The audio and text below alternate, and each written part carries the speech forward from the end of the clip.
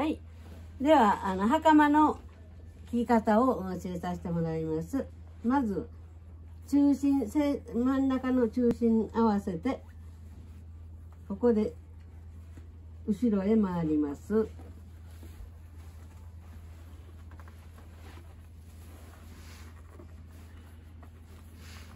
後ろへ回って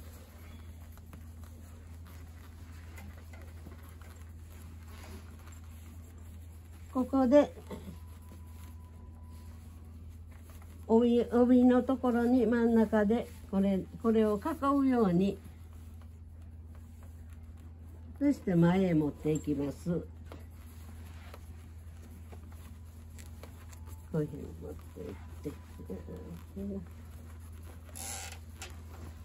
はい。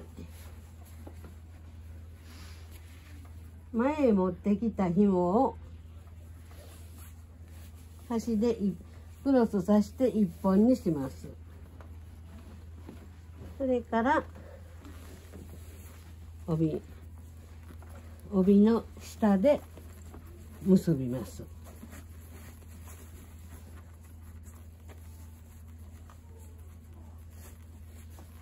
でここできれいに整えます。これで前は終わりです。次後ろはこの金をここのところに差し込んで上に乗せます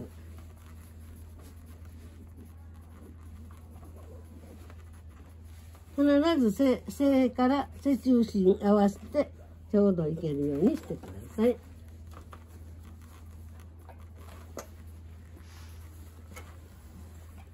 それから前で結ぶ紐ですが右右でも左でもどちらでも大丈夫です。まずはこれを一番中の紐を通します。通してここでちょっと締めてください。締めてちょっとこういうふうにするとここで締まりますのでそれからここでリボンに結んでもらいます。長い方をここで結び目にかぶせるとここがきれいになりますので。